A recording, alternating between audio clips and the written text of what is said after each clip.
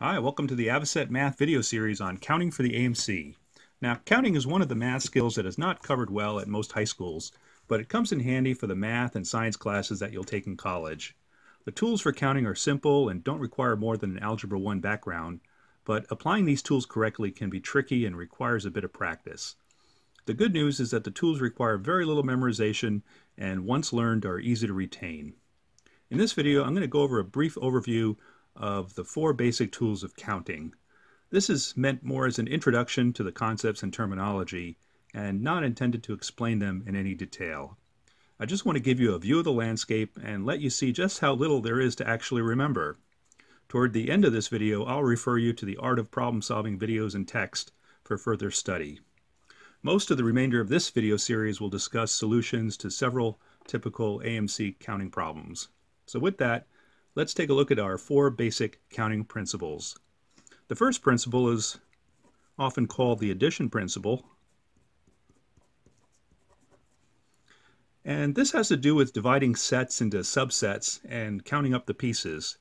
And the simplest example I can come up with is a classroom of children and we want to count the number of children in our classroom.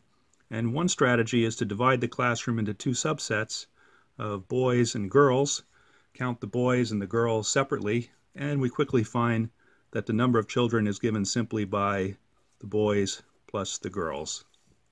Now, this is the simplest example where we have two subsets that are non-overlapping, but we can apply these addition principles to subsets that are overlapping and the simplest example I can come up with there is a slight variation where we have a classroom consisting entirely of math majors and uh, physics majors.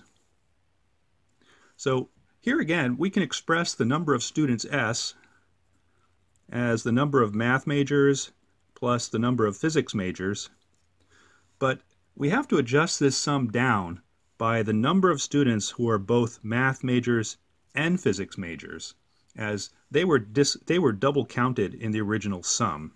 So we write that adjustment by subtracting the term uh, math and physics from the original sum.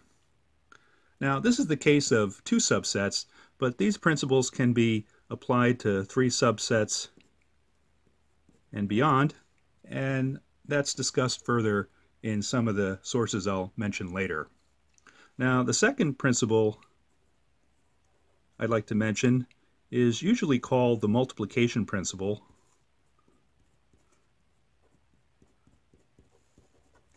And the simplest example I can come up with there is a case where we are looking at points in the xy plane. And we're forming these points with x values in the set of, say, 2, 3, 4, and 5, and y values in the set of, say, 1, 3, and 4. And it's pretty easy to see that the points formed create a rectangular grid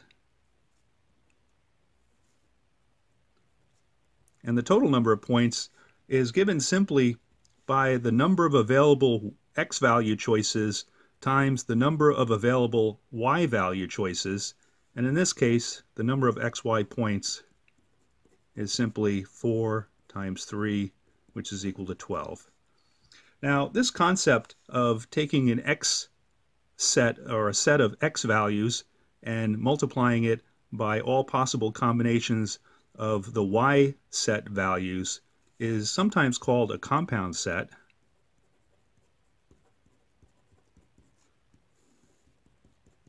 And it's also called a direct product set.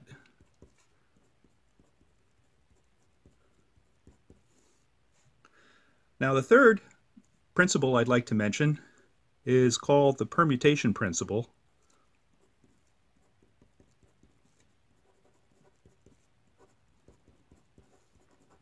And the simplest example I can come up with there is a case of uh, five runners in the finals of some running event. So I'll call the runners A, B, C, D, and E. And the question we have is we'd like to find out the total number of ways we can select three of the five runners and award the gold, silver, and bronze medal, which I denote with these three labeled bins. And the math, it turns out, for this problem is basically uh, an application of the multiplication principle for counting sets. And the result we get is that the total number of ways is given by 5 times 4 times 3. And this is often written in the uh, nomenclature of factorials as 5 factorial divided by 2 factorial. And the 5 times 4 times 3, of course, is equal to 60. Now, the, the last principle I want to mention is the combination principle.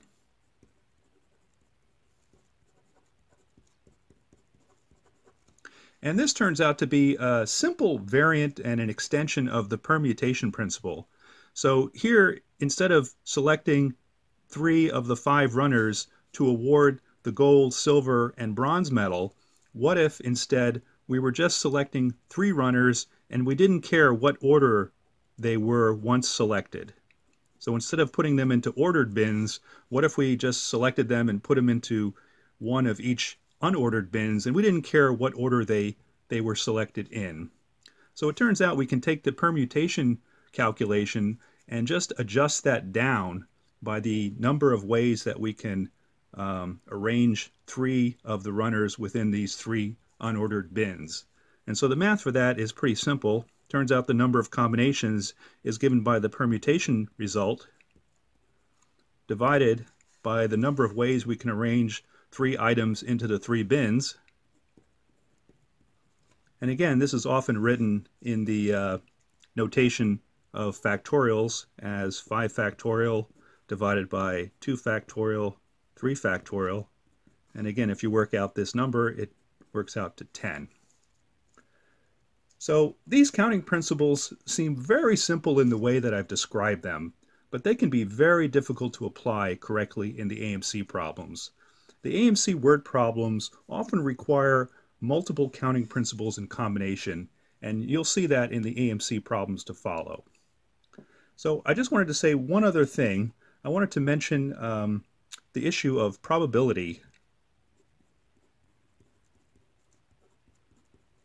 briefly.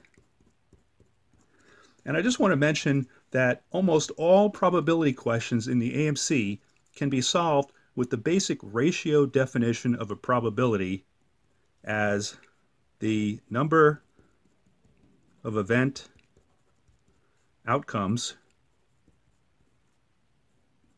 of interest divided by the number of all possible outcomes.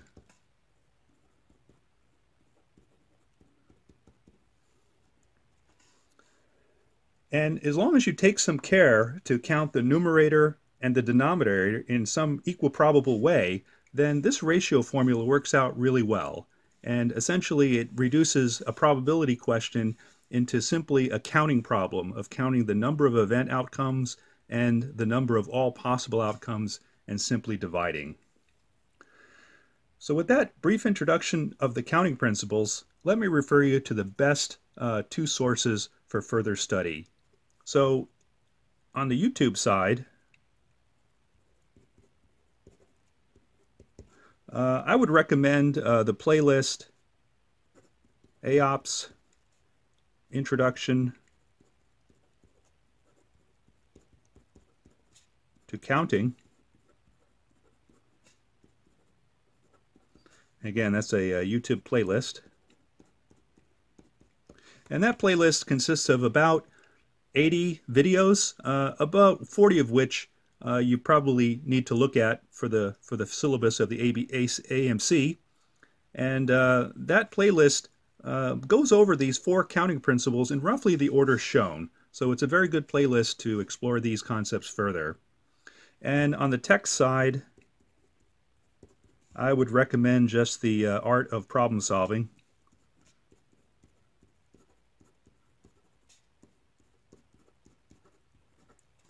And uh, I think there's about uh, six or seven chapters that deal very well with uh, the issues of counting and probability. So check that out.